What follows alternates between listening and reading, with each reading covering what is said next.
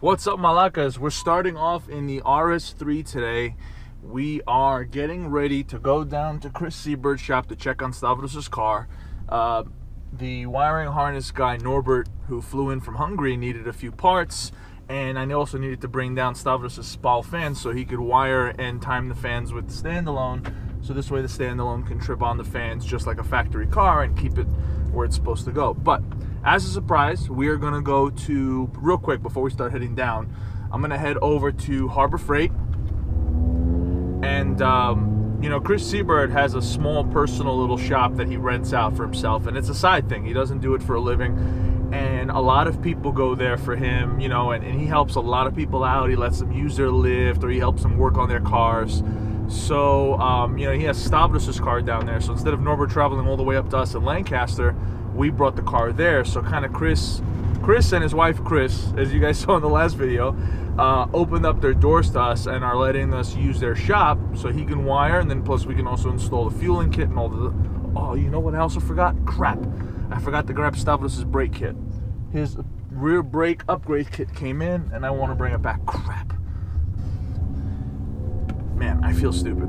All right, so I'm heading back real quick to pick up Stavros's uh, rear brake kit, which I'm only just a couple blocks away, luckily. But I'm gonna head over to Harbor Freight, and what I wanted to do is get them a um, trans transmission stand kit. So if they just wanted to just, let's say if they have a car in the lift and just want to pop down the transmission, which I'm sure Chris does a lot over there in his shop, he'll be able to. So it'll be kind of like a small gift from us to them, like a small token of our appreciation. Um, it's nothing crazy, it's nothing fancy, and I kind of I I remember him mentioning that he wanted to get one, and I had kind of thrown it to the side, like, oh, we'll get one for you. And this was like a month or two ago, and uh, I think he thinks I forgot.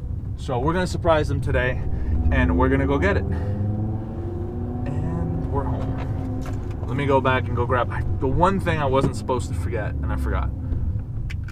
I'm gonna go grab it now So yeah, so now we got Stavros' rear brake upgrade kit that we're gonna install while we're down. Well, I think I'm gonna install while I'm down there and uh, helps get Stavros' car together. So today, for today's agenda, we have we're ripping out Stavros' old factory fuel system, which is primarily the factory lines, and then in combination, it's the inline 450 that the previous owner had installed kind of within all the OEM lines. So we're gonna rip all that stuff out and get it ready for when Sean's brushless fuel kit arrives uh, later today or tomorrow. I'll come back Wednesday morning or if not uh, Thursday and install that fueling system. And we'll bring you guys along for the ride. Anyway, on our way to Harbor Freight, you know, a uh, really good resource for uh, affordable kind of car car stuff, tools and whatnot, and we use it. And a lot of people kind of shame using Harbor Freight. You should buy Snap-on, but apparently these guys never visited a Snap-on truck. If that stuff's really expensive. So let me kind of clarify with that statement. So for torque wrenches, really crucial items like breaker bars, we go Snap-on, we go Craftsman, but there's a lot of great stuff at Harbor Freight for really affordable prices. And uh, they've done us real good. Our engine stands from uh, Harbor Freight, our our hoist is from Harbor Freight. There's a lot of smaller other tools like measuring devices that we get that are pretty accurate and work pretty well from Harbor Freight. So really no complaint. Anyway, let's go over to Harbor Freight and uh, let's go snag them a transmission stand. Now, I have about a quarter tank of gas. That should be enough to get us down below so I can fill up on E85. So I'm in the RS, and as you know, she's running on E70. Primarily, that's give or take, depending on how you measure it, because uh, we're only running currently E70. That's about, I'd say, 11, 11 and a half worth gallons of E85 and about two, two and a half of 91. And it depends also on the concentration of the mix. So hopefully, uh, hopefully it works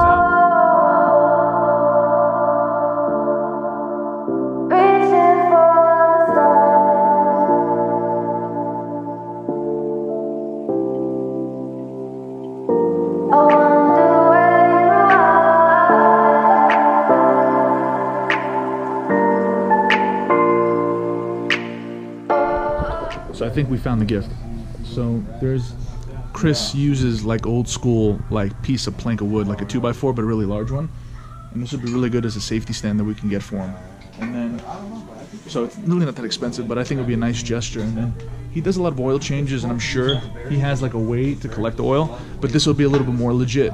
So I figured this and the safety stand should be a nice little gift to him to kind of say thank you for letting us use his shop. Yeah, yeah, we're gonna grab them. We're gonna grab both. So now we gotta go pay. Luckily, Harbor Freight is not even that's that packed. It's 11 o'clock. See if there's a line. Nope, no line. All right, I'm gonna pay for this stuff and then we'll fast forward in the car. All right, guys. All right, so we got the little surprise for Chris and Chris. Picked up a little safety stand, like I said before. Um, you know, uh, when we were there last time and we were helping uh, Chris put together, uh, I think it was Rudy's car, he was using this giant plank of like 2x4 that was unadjustable. He had kind of like cut it perfectly to kind of mess around and do whatever he wanted. And um, and you know we always thought maybe maybe we should get Chris something. So we picked up two little things a little oil drain little canister so he could do oil changes seal it up and then go dump the oil at whatever repository he chooses and then like a little safety stand hoist. Nothing crazy just a little thank you to kind of say hey thanks for letting us use your shop thanks for being friends so on and so forth. We figured it'd be a kind gesture. Anyway Stavro called me. He ordered brake pads. I gotta run by Napa and go pick it up. So I'm gonna run by Napa go scoop up the pads and then we're gonna shoot down to Chris's shop. But I have a quarter tank left, and there's no E85 at all in Lancaster. So I think I have enough fuel to um, to make it to the Roxford location to get E85. So I should be okay. I'll go there, fill up, and then shoot over to Chris's shop.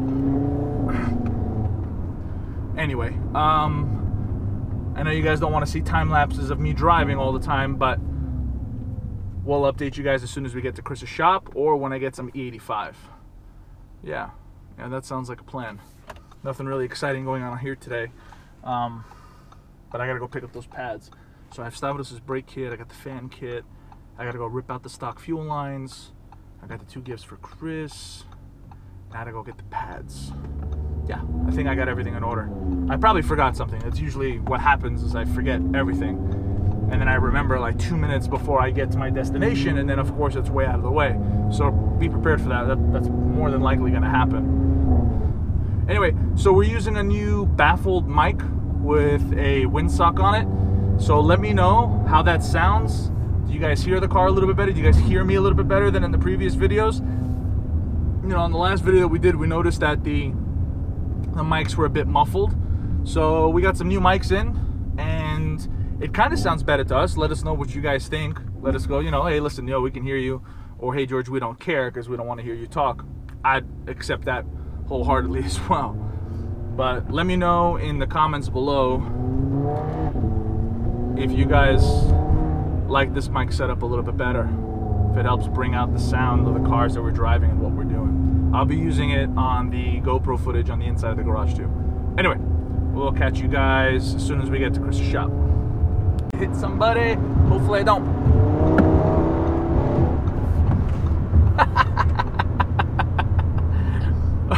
Excuse that, I almost missed the exit. But anyway, we need to get some E85 and uh, pre-mix it a little bit with some 91. And Roxford Street's our best source that we go to. So far, it's been holding pretty strong with 85 content throughout the whole year. So it's pretty much the only place that I go to. And my fuel light just came on. Yep, I know fuel. I'm gonna get you some fuel.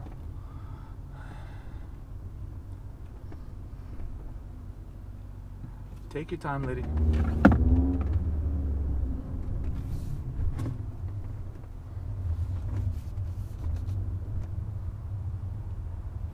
All right, let's get some fuel.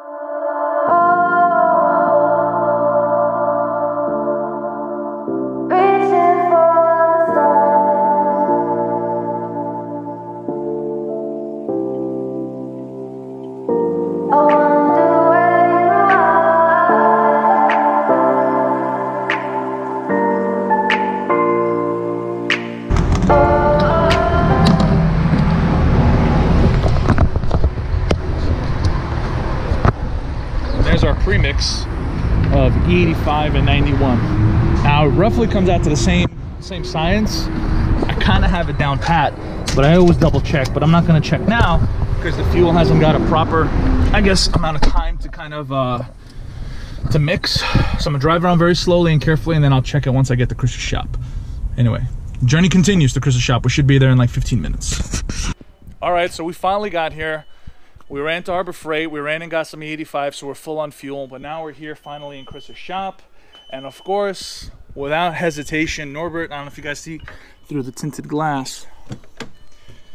Norbert's already hard at work. What's up? As they say, doing the damn thing, as Stavro would say. Wiring, wires everywhere. That shit scares me. Fuck wiring. But anyway, we're here. Chris is here. Not the other Chris, but this Chris, if you guys remember from the last video. But look at that. Hard at work. So we brought Stavros' fans. We brought Stavros' rear brake kit. Um, as soon as Norbert kind of finishes up, we'll get started on ripping out the stock fuel lines. And then hopefully the fuel kit comes in either later today or tomorrow. Uh, and then we'll get this girl buttoned up. And again, you know, she's got a lot more stuff to get done. Stavros still needs intercooler fab, but at least the harness, the standalone, everything will be wired in. It'll be somewhat functional. We can maybe even hear her fire up. And then uh, we'll get this girl out of here and then um, back up uh, to us in Lancaster and then get the intercooler stuff kind of knocked out. But it's getting there, guys. It's getting there. Stavros' car is looking real good. Really jealous that his my CCWs look a lot better on his car than mine. I think it pops really well, especially with the front end being all polished. So you can imagine he's got the aluminum mirrors, he's got the wheels, and then the whole front end, it just pops. Very, very jealous. Not because it's a 12 valve, but because it looks really, really good. Should have been a 24 valve, I think. But he's got a 12 valve in there. Anyway, we'll get started. We'll update you guys as you go, and then we'll throw some time-lapse footage in there too. Stavro may or may not be joining us later in the afternoon, but he may. Uh, we'll see what time he gets off of work. But let's get started. All right, Malakas. Here in Chris's shop, and we're here with Stavros' A4, and I'm telling you, there's a lot of stuff to get done, as I kind of mentioned and alluded to as, I, as soon as I got here. But right now, what we're going to be working on is an oil pressure fitting that we're going to have to adapt on the oil filter housing on the VR6. It's going to look something like, let me see if I got it in my pocket. It's going to be something like this. So we're going to have to adapt this so this way the VEMS harness can read the oil pressure to the ECU that they're going to be running. So um, we're to have to take off the front radiator, take off the back of the alternator. We actually damaged it looks like a connector during install. So luckily Norbert said he's to kind of fix it up and hook us up on it. So we're to remove the radiator, remove the alternator, gauge what kind of adapter we need this to tap into the oil filter housing. We'll make a run real quick to Napa or to a local parts store, and then we'll get this situated and then we'll continue on with a nice little time lapse. We are, we are dreaming in the dark. We are nothing more than dust. Search but you stay lost. We are, we are reaching for the stars But we're making this too hard. So essentially, we have to take, let me see if I can get you guys a clear picture. There we go. So there's the oil filter housing, and there is the old sensor that we're going to be removing, which I already unscrewed. Me taking this bad boy off, and we're going to match the threads on this one, common to that pressure sensor, which might be the same. So we might get lucky. Or we might not, depending on the Greek luck that we have. So We'll match it up so this way the VEMS harness can kind of read oil pressure and Stavro doesn't have to worry about that stuff. So we've taken basically off the front end. The alternator, like I mentioned just before, Norbert's going to fix the connector on there. I think it was probably me who broke it, but we'll just blame Stavro for now. He broke the connector. So Norbert's going to fix it for us, and then we'll hook the alternator back up. We'll hook the radiator back up. I'll run the fans, and then Norbert himself will do all the wiring for the fans to the VEMS ECU. Anyway, miniature uh, miniature updates, small, steady progress, but uh, slow and steady wins the race. After all, it is a 12 valve, right? Talk to you guys later. All right, so we're back, picked up the fittings that Stavro needed for his now VEMS oil pressure sensor. We're gonna attach it to the oil filter housing and then continue on with this journey. Um, let me tell you, there's a lot of auto parts stores in LA that don't carry NPT fittings. I do not understand fittings are like I don't know. I almost feel like you should have. Uh, we ended up having to go to Home Depot and kind of get a tee and kind of make our own thing, but uh, we're gonna make it work. We're gonna have some fun. Oh, that's probably should have put my phone on mute. All right, guys. So we're gonna continue working here and uh, enjoy what you're watching. Search, but you stay lost. We are,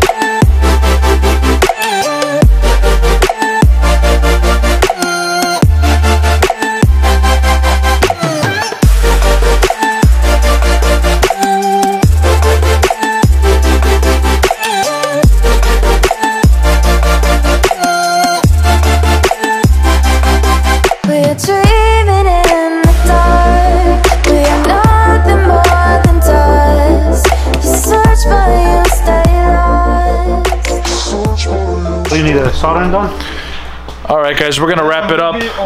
Well, I'm gonna wrap it up because I got a lot of editing to do. only four connectors. But I need the connector. they're pretty much not set, but we got the oil pressure sensors done on top of the oil pressure housing, filter housing. I mean, uh, Norbert is working on the ignition coils. He's already got the VEMs in the box already, kind of setting it up. So it's actually looking really, really good. It's gonna start cleaning it up. Uh, the coolant system's not done. Stavro has to get a T, and then we can put the radiator back on. But I think tonight we should get some footage of uh, quit startup, or if not tomorrow. So if we end up getting startup footage, Stavro will send that to me. If not, we'll uh, we'll get that tomorrow. But things are looking really good, guys. Tomorrow on tomorrow's agenda, we'll get the car up in the air. We'll do the uh, big brake rotors in the back. I know Stavro ordered from Project B5, so those came in with new pads. Uh, we're gonna put those on. So a lot of little things are gonna be getting done on this car, but as far as where we're at, this is it for today, and we'll be back first thing tomorrow morning. It is what time is it now? Six. Six. Still no sleep. we'll sleep in a little bit. All right, guys. I'm George. This is Stavros. That's Norbert in the back. This is Malaka Motorsports. Thanks for watching, and we'll see you guys tomorrow. Okay. Yeah. Without